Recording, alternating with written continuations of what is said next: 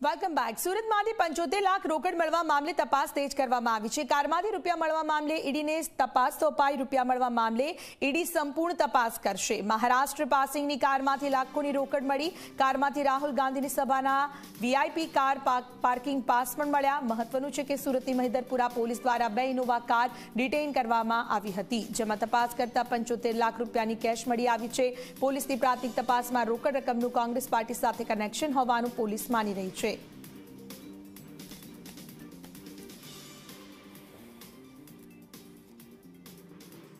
ગુજરાત વિધાનસભાની ચૂંટણીને લઈને જે ફ્લાઇંગ સ્ક્વોડ છે આ ઉપરાંત સુરત પોલીસ છે, તેમના દ્વારા રાત્રિ દરમિયાન વાહન ચેકિંગ કરવામાં આવી રહ્યું હતું. તે દરમિયાન મૈદરપુરા જડા ખાડી ખાતે એક ઇનોવા કાર પસાર થઈ રહી હતી. આ ઇનોવા કારની તપાસ કરતાં તેમાં રોકડા રૂપિયા પંચોતેર લાખ નીકળ્યા હતા, જેને કારણે ચૂંટણી પંચ અને સુરત પોલીસ દ્વારા આ જે રકમ છે તે કબજે કરવામાં આવી હતી અને આ બંને જે શખ્સો હતા તેમની અટકાયત કરવામાં આવી છે. આપ જોઈ શકો છો, મૈદરપુરા પોલીસ સ્ટેશનમાં બંને આરોપીને લાવવામાં આવ્યા છે. સૌથી મહત્વની વાત છે કે આ રૂપિયા ક્યાંથી આવ્યા તે અંગે તપાસ કરવામાં આવી રહી છે. ઇનોવા કાર જે હતી તેમાંથી જે આઈ કાર્ડ એક મળવામાં આવ્યો છે, જેમાં રાહુલ ગાંધીની જે સભા હતી તેમાં જે વીઆઈપી પાર્કિંગનો જે પાસ છે તે પાસ પણ મળી આવ્યો છે. સાથોસાથ કોંગ્રેસના પ્રચાર પ્રસારની જે પત્રિકાઓ છે તે પણ જોવા મળી રહી છે. હાલ ઈડી દ્વારા આ સમગ્ર જે મામલો છે તે મામલામાં તપાસ હાથ ધરવામાં આવશે. ઉદય ગુજ્જર દિલ્હીનો રહેવાસી છે, જ્યારે મોહમ્મદ ફેઝ રાંદેરનો રહેવાસી છે. જ્યારે ફરાર યુવકનું જે નામ છે તે સંદીપ છે, જે મૂળ કર્ણાટકનો છે. હાલ તો ઈડી દ્વારા સમગ્ર જે બાબત છે તે બાબતને લઈને તપાસ હાથ ધરવામાં આવશે. આ સાથોસાથ આઈટી વિભાગ દ્વારા પણ આ પંચોતેર લાખ ક્યાંથી આવ્યા, કોની પાસેથી આવ્યા, તે અંગે તપાસ હાથ ધરવામાં આવશે. કેમેરામેન દેવાંગ રાણા સાથે ચેતન પટેલ, ઝી મીડિયા, સુરત.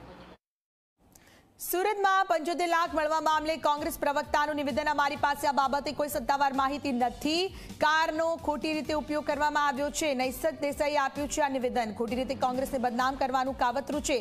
કોંગ્રેસના સાહિત્ય બધે જ છે. કોઈ પણ સ્થળે તે મળી શકે છે. આ પ્રકારનું નિવેદન તેમને આપ્યું છે. મૈદરપુરા વિસ્તારમાં મોડી રાતે ફ્લાઇંગ સ્વોર અને સુરત પોલીસ દ્વારા રોકડા રૂપિયા પંચોતેર લાખ કબજે કરવામાં આવ્યા હતા. જે કાર કબજે કરાઈ હતી, તેમાં કોંગ્રેસના ઇન્ચાર્જ બી એમ સંદીપ નામ હોવાનો ઉલ્લેખ વીઆઈપી કારમાં કરવામાં આવ્યો હતો. ત્યારે આપણી સાથે નેસકભાઈ જોડાયા છે. જી નેસકભાઈ કારમાંથી રૂપિયા મળ્યા છે અને કોંગ્રેસના પ્રચાર પ્રસારના સાધનો પણ મળ્યા છે. શું કહેશો? આવી કોઈ માહિતી પહેલી વાત એ છે કે પાર્ટી પાસે સત્તાવાર રીતે કોઈ માહિતી નથી. પણ આ એક જાતની ખોટી એવું કાવતરું છે આ. અને કારની અંદર તમે કઈ રીતે આ રીતે તમે મેનેજ કરાવી શકો છો એ બહુ આશ્ચર્યની વાત છે. એટલે આ તદ્દન ખોટા સમાચાર છે. અને બીજું કે એમ લાગે છે કે આ એક કાવતરું કરવાનો પ્રયાસ છે અને સંદીપજી તો ત્યાં હાજર હતા જ નહીં. તો પછી કારમાં વીઆઈપી કાર પાર્કિંગ પર સંદીપનું નામ કઈ રીતે આવ્યું? કારનો દુરુપયોગ થઈ શકે કારનો મિસયુઝ થઈ શકે અને આ એક માત્ર વાહનનો મિસયુઝ છે. આવા કોઈ કોઈ આ ઓથેન્ટિક એ વાત જ નથી. આ એક માત્ર ખોટી રીતે કોંગ્રેસ પાર્ટીને બદનામ કરવાનું આ ભારતીય જનતા પાર્ટી પ્રેરિત કાવતરું છે. કોંગ્રેસની પત્રિકાઓ પણ મળી આવી છે. એ તો હવે જો પ્રચારના સાધનો તો અત્યારે જાહેરમાં ભાજપના કોંગ્રેસના કોઈ બી જગ્યાએ હોઈ શકે છે. એ કંઈ કાયદેસર ફોજદારી ધારા અન્વયે કોઈ પુરાવો નથી. એ કોઈ પુરાવા તરીકે કોર્ટ સ્વીકારી શકે નહીં.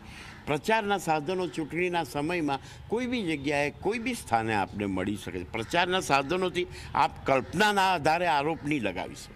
આ મહારાષ્ટ્ર પાસિંગની ગાડી છે અને દિલ્હીથી રૂપિયા આવવા આવ્યા હોવાની વાત છે. એ વાત ખોટી છે.